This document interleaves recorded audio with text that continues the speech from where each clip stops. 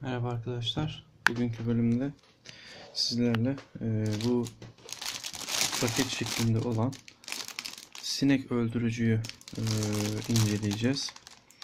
Bizlere bu fırsatı veren bir Çinli alışveriş sitesi Banggood e, sağ olsun kendileri bu ürünü bize ücretsiz olarak gönderdi ve daha birçok ürünü göndermeye devam ediyor. Şu an elimde 3 tane ürün var bundan başka. Bunları hep beraber inceleyeceğiz.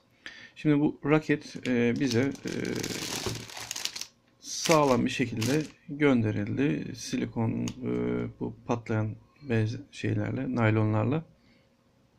Dışı siyah bir çöp torbası gibi bir torbayla. Hani bizim e, şeyimize alışkın olduğumuz tarzda şöyle temiz bir kutuda gelmedi. Nihayetinde bu adamlar her şeyi ucuza veriyor. Bir yerlerden kısıyorlar bir şekilde. Ee, bize de bu şekilde ürünümüz geldi. Sarılı bir şekilde, sağlam, güvenilir bir şekilde. Ben daha ürünü henüz hiç açmadım. Ee, şimdi ürünü inceleyeceğiz, açacağız. İlk açılımını beraber yapalım. Şimdi poşeti nereden açabiliriz?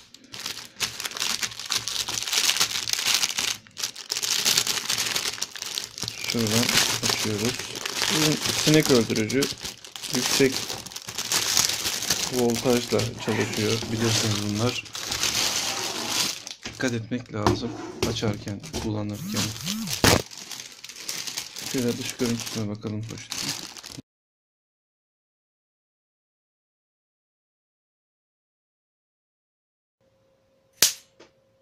Ürünün içinden başka hiçbir aparat, kullanım kılavuzu vesaire hiçbir şey çıkmadı arkadaşlar. Gerekli bilgiler e, bu kendi poşetinin üstünde yazıyor.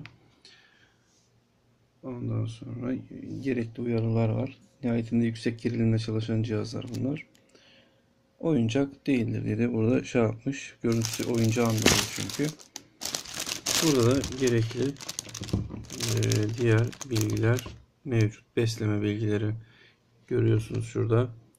1100 volt ile 2200 volt arasında bir enerji var yani bu raketin iç kısmında. Voltaj yükseldikçe de akımın düştüğünü biliyoruz. Dolayısıyla da çok da hayati bir tehlike yok bizim için. Ee, çalışma sistemini de e, şeyleri anlattıktan sonra, dış görüntüleri anlattıktan sonra ona da bir giriş yapacağız. Girişimiz 220 volt. Ee, asit batarya kullanılıyor. Görüyorsunuz şurada. Taklansın.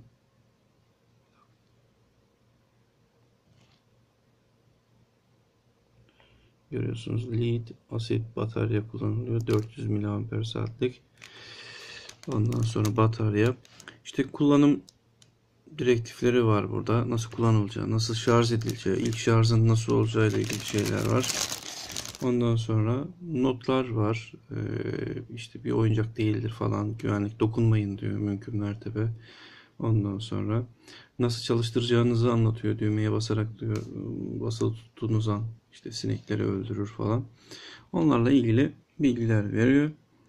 Burada da kalite garantisi ile ilgili bir paragraf var. Yine burada da ürünün imalat yeri mevcut. Dış poşet bu şekilde.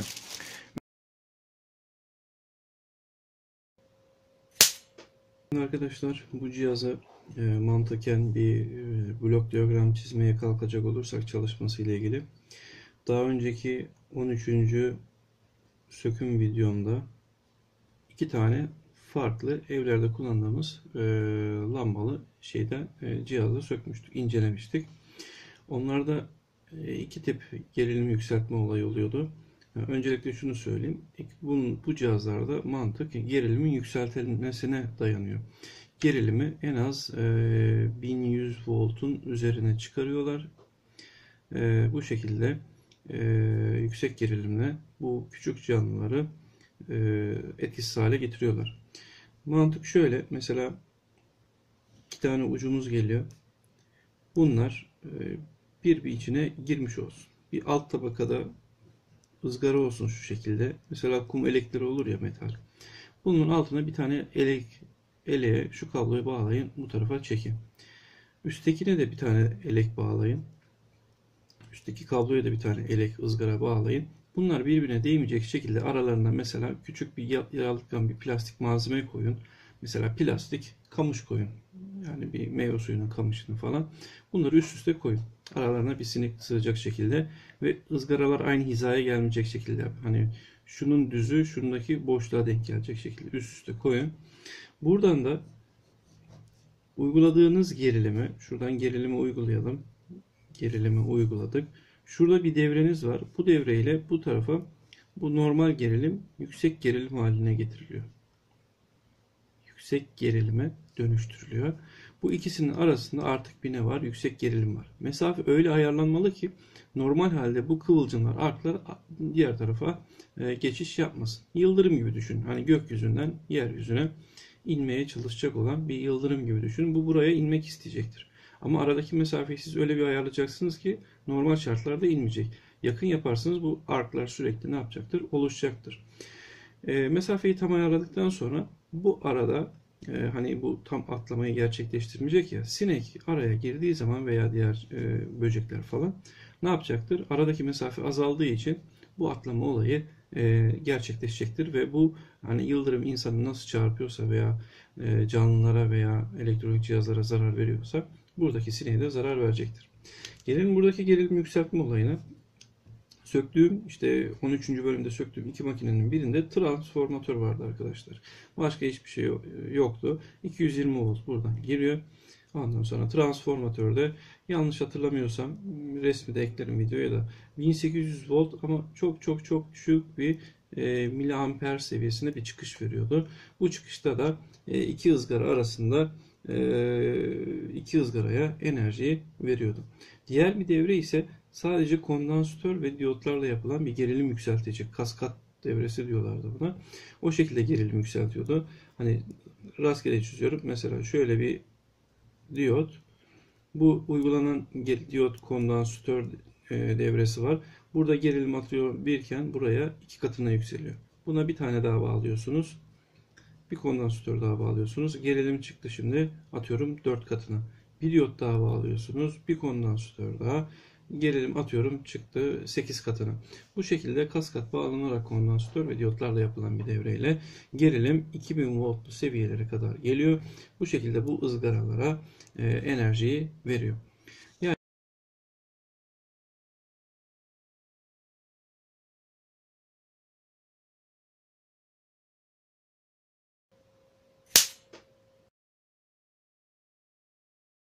Ürünümüzü yakından inceleyelim arkadaşlar. Şurada şarja takma kısmı var. Görüyorsunuz. Buradan şarja takıyoruz. Bunu kapatalım tekrar.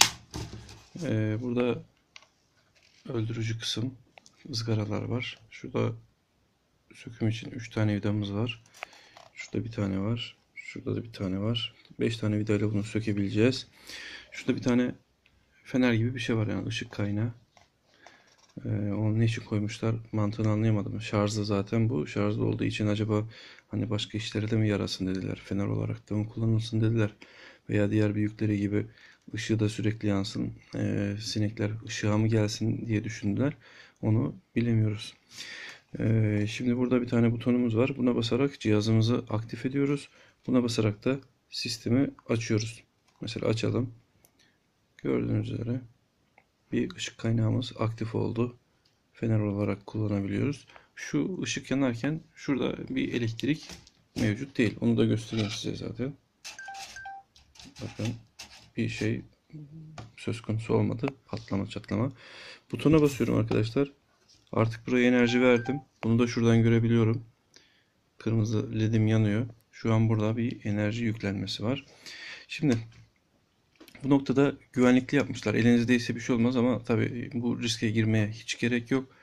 Bu butondan elinizi çektiğinizde artık burada yüklenmiş bir enerji var. Ee, bu enerjiyle de e, işleminizi gerçekleştirebilirsiniz.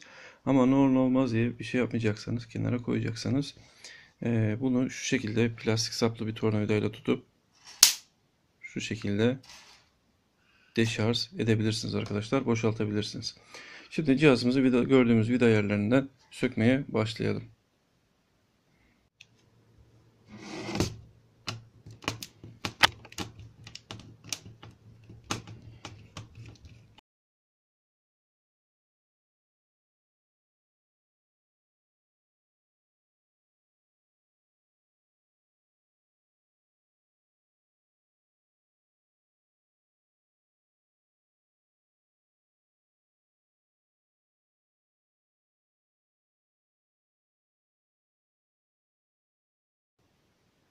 Gördüğünüz üzere üst kapağı ayırdık arkadaşlar. Ee, devremiz, sistemimiz ortaya çıktı. Buradan 220 voltun geldiğini görüyoruz. Devreye girdi. Kırmızı kablolar. Sarı siyah olarak e, şu gördüğünüz siyah parça pilimiz kurşun asit e, bir pil. E, bu pilimizi şarj ettik. Bu ledlerimiz şarj olurken bir tanesi yanıyor. Sisteme enerji verirken bir tanesi yanıyor. Anahtarla butonumuz burada. Anahtarla sistemi açıyoruz. Butonla ızgaralara enerji veriyoruz. Ondan sonra şurada iki tane siyah kablo görüyorsunuz. Onlar aydınlatma ışığına gidiyor. Şurada da kondansatörümüzü görüyorsunuz. 2 kahvalık bir kondansatörümüz var. Ee, bir ucu orta ızgaraya, diğer iki ucu da iki yeşil kabloda bir aynı e, kondansatörün diğer ucundan alınmış. Alt ve üst ızgaralara gidiyor. Şimdi bunu biraz daha söküp bir sonraki kademeye geçelim. Ama şu an gördüklerimiz üzerinde bir yorum yapacak olursak kablolar çok e, basit gözüküyor. Kablolar kopmuş gelebilir e, yolculuk süresince. Nihayetinde Çin'den geliyor. Bayağı uzun bir yoldan geliyor. Şurada da eziklikler var görüyorsunuz. Saklanırsa. Bu ezikliklerden kablolar kopmuş olabilir. Kablo hasarı olabilir. Cihazınız genelinde çalışmıyorsa söküp bu kablolara bakabilirsiniz. Nihayetinde tekrar Çin'e gönderme şansınız olmayacak. Hani kabloların kopma ihtimali çok yüksek. Onun dışında şu an baktığımızda bozulacak çok da bir malzeme yok arkadaşlar. Ee, ve bozulsa da bulunabilecek malzemelere benziyorlar. Bir sonraki kademeye geçelim. Komple yerinden devreyi sökelim bakalım. Yani şurada bir vidamız var. Onu da göstereyim. Bu vidamızdan sökeceğiz. Başka şurada işte 220 volt kısmı ayırmak için buradaki vidaları sökeceğiz. Onun dışında başka da bir vida gözükmüyor şimdilik.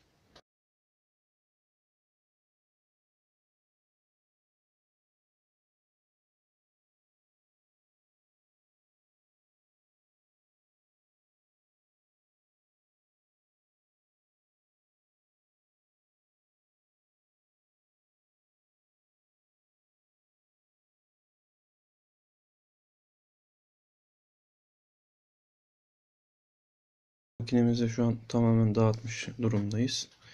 Ee, kısımları tekrar inceleyecek olursak e, şurada sap kısmımız var. Tutma kısmı yani. Şurada enerji girişi. Gördüğünüz üzere 220 volt giriş. Şurada el feneri kısmımız, aydınlatma kısmımız. İşte anahtarlarımız, vidalar. Ondan sonra bu şekilde sap kısmı bundan ibaret. Sonra geldik burada plastikler var. Bu plastikler ne içindi? Şu ızgaraların arasındaki e, teması engellemek için. Çünkü temas ederse sürekli bir yük boşalımı olur. Sürekli bir kısa devre durumu söz konusu olur. Onun için de cihazımız bozulabilir. Bizi ilgilendiren kısmı her zaman olduğu gibi şu elektronik kısım. E, bunun temel çalışma mantığını videomuzun başında anlatmıştım. E, tekrar edecek olursak e, bir sinek öldüren cihazlar, e, böcek öldüren cihazlar yüksek gerilim esasına dayanır e, akım düşürülür, gerilim yükseltilir. E, bu ızgaralar arasında bu iki yüksek gerilim noktalar arasına bir canlı girdiği zaman bir enerji boşalması olur ve bunun sonucunda da e, hayvan eks olur, ölür. Hani gerilimin yükseltilmesi gerekiyor. Girişte verilen gerilimin yükseltilmesi gerekiyor. Şöyle bir blok diyagram çizecek olursak, bunu blok diyagramla gösterecek olursak, bu cihaz için 220 voltumuz girecek. Öncelikle AC gerilim DC gerilme yani alternatif akım doğru akıma çevriliyor. Ee, bir sonraki kademede şarj ediliyor. Pilimizi şarj edeceğiz ve e, anahtarlama kısmı yani transistörümüzle transformatörümüzü süreceğiz tra, e, transistör ile yani şu kısmı.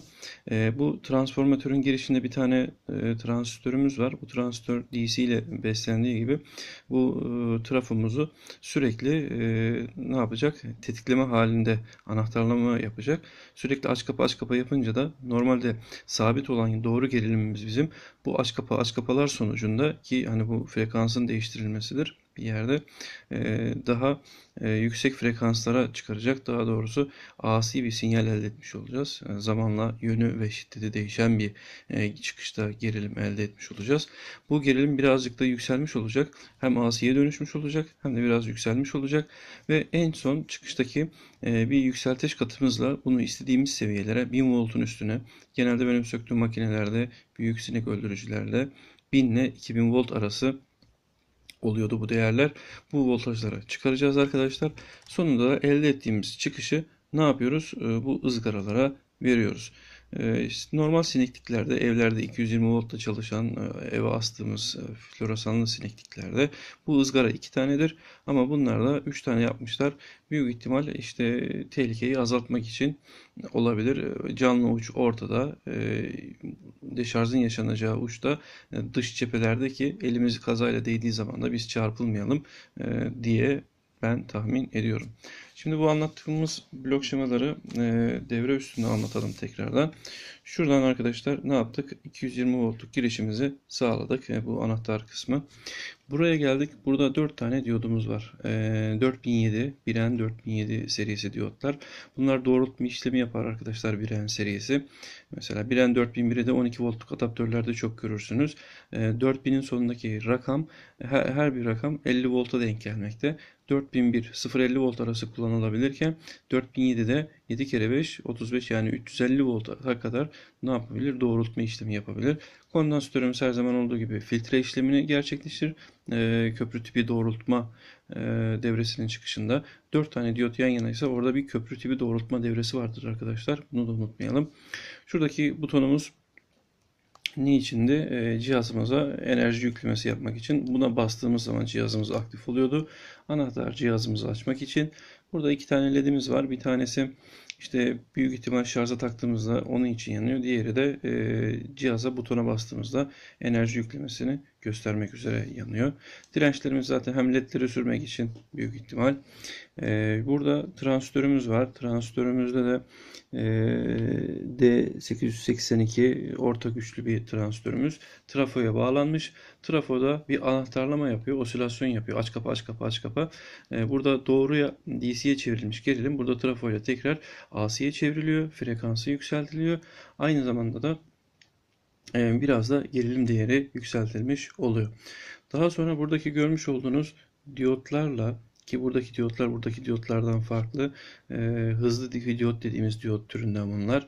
E, bu diyotlarla da diyot ve kondansatör elemanlarıyla da gerilim istenilen seviyeye yani 1000 voltun üzerine çıkarılmış oluyor arkadaşlar. Kondansatörün bacaklarından alınan kablolarla da ızgaralara enerjiler veriliyor. Mavi kabloda gördüğünüz üzere orta kısma gidiyor. Yani canlı uç %90 budur. Diğer iki tane yeşil de bunlar e, kondansatörün diğer bacağına bağlı. Üst ızgara ve alt ızgaraya e, enerji gidiyor. Bu iki ızgara arasına e, canlı girdiği zaman kanatları ikisine aynı anda çarptığı zaman çarpılma işlemi, deşarj işlemi gerçekleşiyor. Bu şekilde de cihaz görevini tamamlamış oluyor. Şimdilik benim size anlatmak istediklerim bu kadar arkadaşlar. İnşallah faydalı olmuştur. Bir başka çalışmada tekrar görüşmek üzere. Kendinize iyi bakın.